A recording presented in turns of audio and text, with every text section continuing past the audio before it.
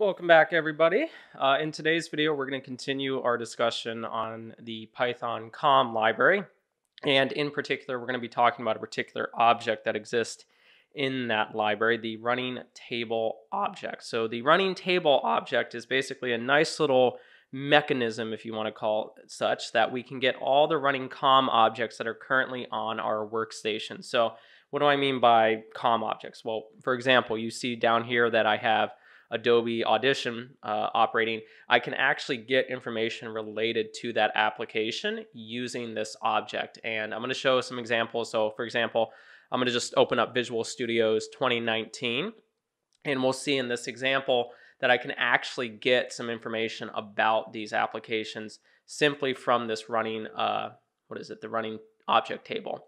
So to work with it, it's very straightforward. The first thing you're to do is you're import your library. Very straightforward. And we're going to import Python com. Alrighty, and then from here we need to define a couple things. Uh, one of them I will explain later as to uh, what exactly it is, but at this point I'm just going to define it and I'm not really going to discuss it. The first one is going to be our uh, create binding context. And so we're going to create a new variable called context. We're going to call our Python com module, and then we're going to call the create bind context method, and then we're going to pass through zero. This method only uh, can pass, you can only pass through zero in this method for it to work. So I'm going to put a note here, must be zero. And we'll see why this is important later. But at this point, we just want to define it. And then what we're going to do is we're going to get our running object table. So the way we get that is we're going to call our Python com module, and then we're going to call the get running object table method. And so we're going to say get uh, running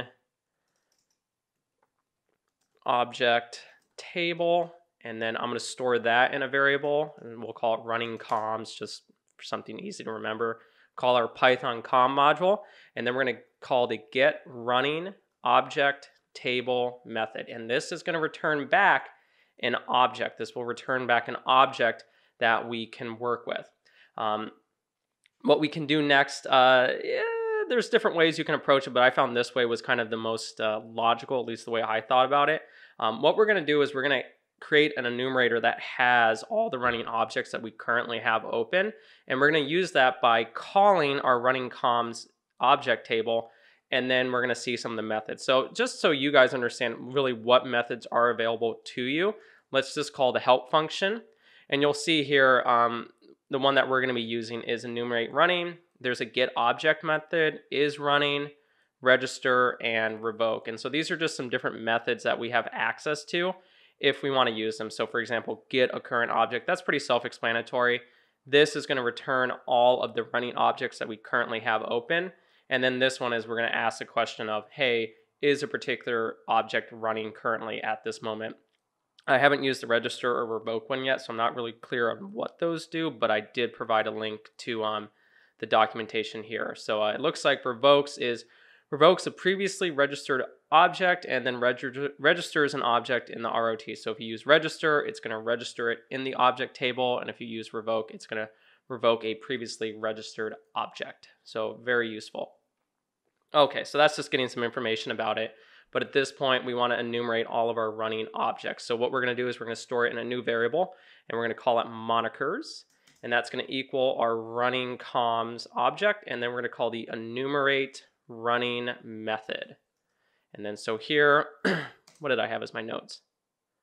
Oh, creates an enumerator that can list all the monikers monikers in our table. Okay, and then what we can do is we can loop through this enumerator. So we're going to loop through all the monikers. Now, you might be asking, what is a moniker? Well, I have a nice little definition that I found on Microsoft. Monikers are used as the basis for linking in COM. A linked object contains a moniker that identifies its source. When the user activates this linked object to edit it, the moniker is bound. This loads the link source into memory. So we can kind of think of it as a link or kind of a mechanism for us to link to a particular um, COM object. At least high level, that's how we should think about it. And so when we get that, there's certain information that we can retrieve from that particular link saying what that particular moniker is and what it's linked to. So that's just for your guys' information if you're kind of going like, hey, what exactly is this all doing? And funny story, I don't know why, but when I first saw this word, I saw monkey ears. I don't know why, and I kept saying it for the longest time, and it's like, oh, it's monikers. But uh, yeah, funny story about that. I don't know why I did that. But anywho, so let's loop through it, and we're gonna say for moniker in monikers. And then what we're to do is we're just to uh, print out each one. And so there's a really easy way we can do this. First thing is I'm to put a line because we are to have a couple that are currently active. And then from here, um, we're going to print the display name. So we need to get the display name of our particular moniker.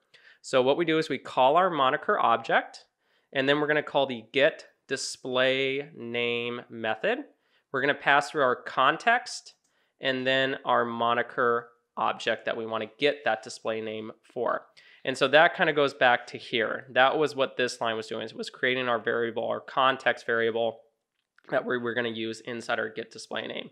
So this is a bind con. So basically, uh, it's a bind context that is an object that stores information about a particular moniker binding information. Sorry, moniker binding operation. A bind context is a required parameter in many methods of the iMoniker interface and in certain functions related to monikers. So that's again just some context for you as to what this particular object is. And so from here, what are we doing? Print the display name, and then we'll just do that first. Okay, so now we get a list of all the wonderful stuff that is currently running on my particular system. And so you can see things like Microsoft Visual Studios, I believe this is the ID for it, if I remember correctly, but don't take my word on it. Um, and then I believe this one was for Adobe Audition, if I remember.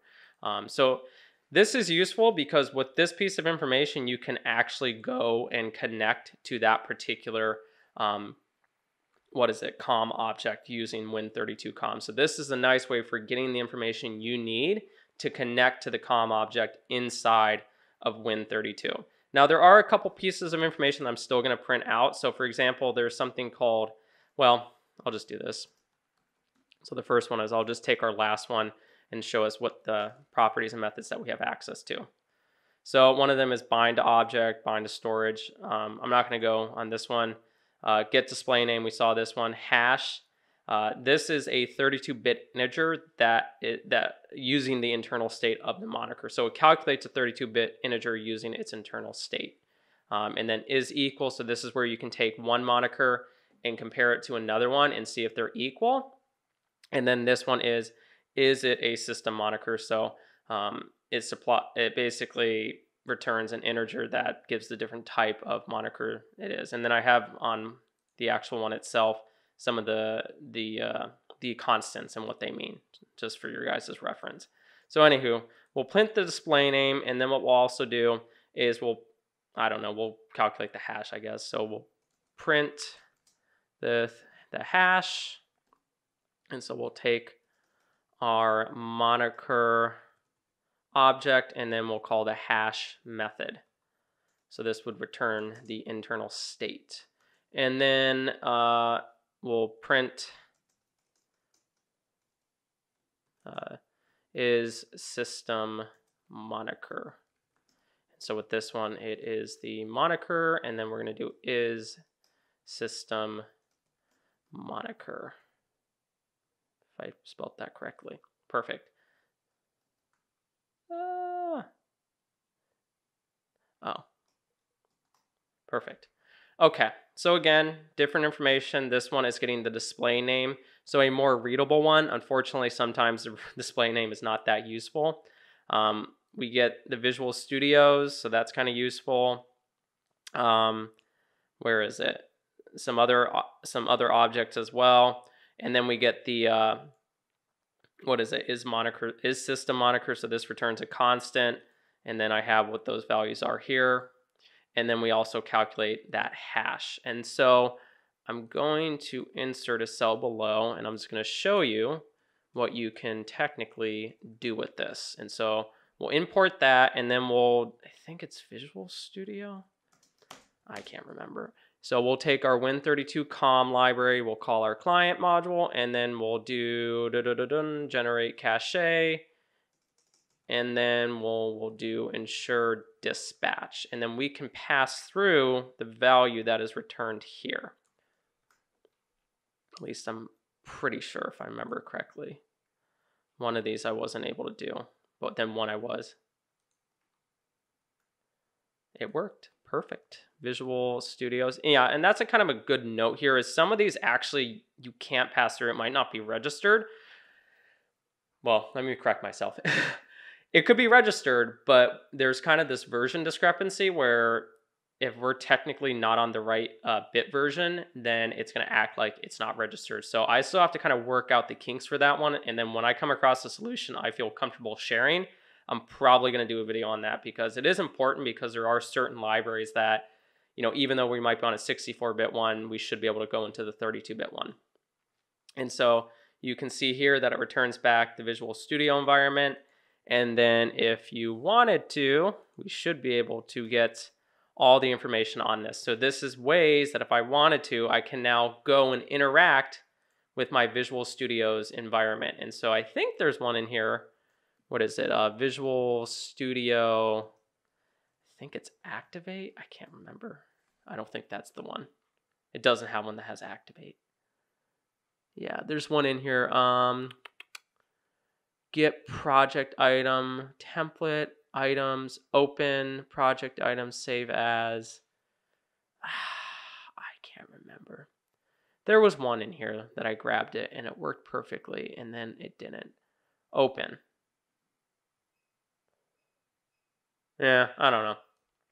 But anywho, this again is just showing you that you can take the information up here and now leverage it inside the Win32 client, sorry, the Win32com client library because now you have the information to go and dispatch that particular object. So that's kind of what was the purpose of this video was explaining what this object was and really defining the information that it's giving back to us and leveraging that in another library. So very useful, um, especially if you're not sure what object you can technically work with.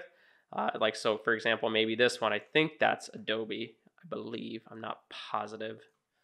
Um, we could also, Oh, that's the iCloud Sync app. Get item, get app state, open. Yeah, so there's a lot of different objects that potentially we could be playing with here. So it's just kind of up to you about how you kind of want to go about it. Um, you know, interesting though.